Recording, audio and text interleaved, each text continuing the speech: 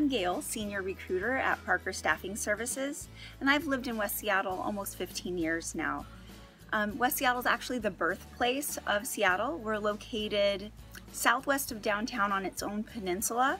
We round out Elliott Bay to the east and the rest of Puget Sound both to the north and west. And West Seattle is kind of like its own town with its own breakdown of neighborhoods, and we'll actually visit four of the most popular today, which are Alki, Admiral, Lincoln Park, and the Junction. West Seattle residents comprise of high-income families with children, uh, mid to high income young couples, as well as high income middle aged couples. The median age of West Seattleites is about 42 and a half, and we have a population density of about 22% less than Seattle as a whole. And what that means is basically we're not all crammed together in apartment buildings. Um, we have actually room to spread out and breathe.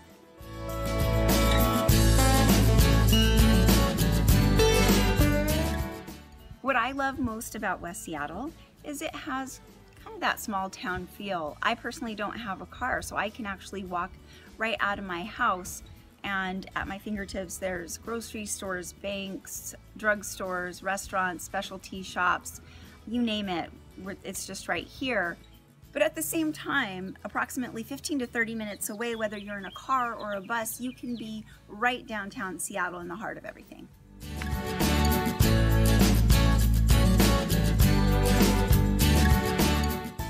So if you're thinking about renting in West Seattle, the median rent above a one bedroom, it's going up. I have some statistics for you. Um, the average West Seattleite will pay about 1,175 for a studio apartment, 1,271 for a one bedroom, and 2,070 for a two bedroom.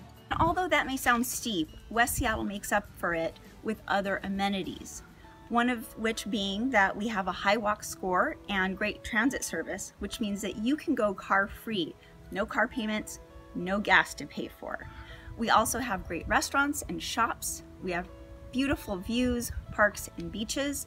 And um, on the second Thursday of the month, we have an art walk. We have um, the farmers market on Sundays. And we also have the West Seattle Festival, which is a weekend in July where we block off two to three blocks of the West Seattle Junction.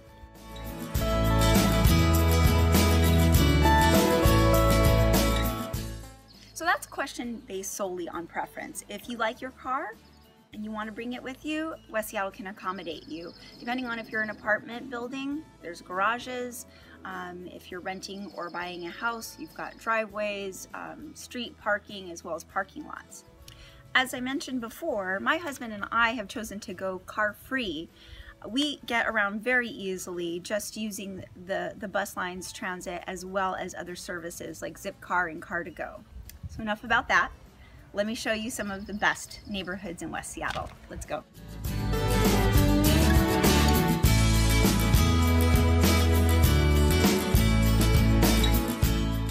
Hi, it's Gayle again. Welcome to Alki, home of Alki Beach, and also the birthplace of Seattle.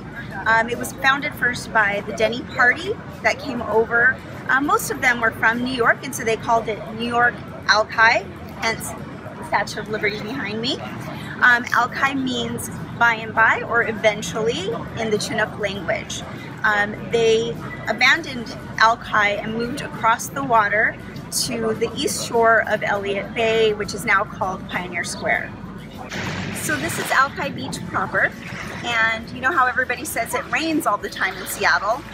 Well, this is typical spring and summer weather in Seattle with highs typically around mid to upper 70s, which is perfect weather for Seattleites to enjoy the beach.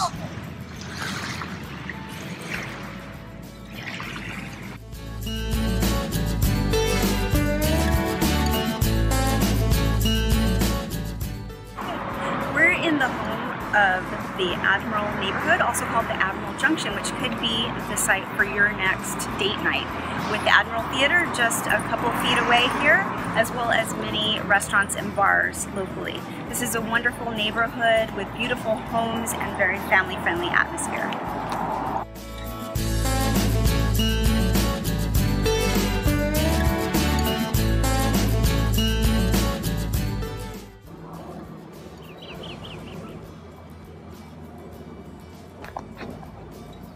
Hey, if the concrete jungle is getting to you, you can come to Lincoln Park where you can take a walk in nature.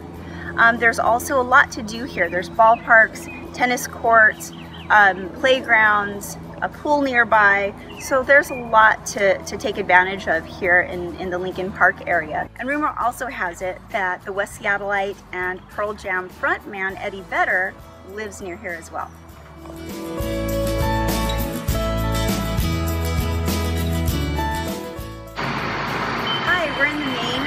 Junction in West Seattle, also called the Alaska Junction, where Alaska and California meet.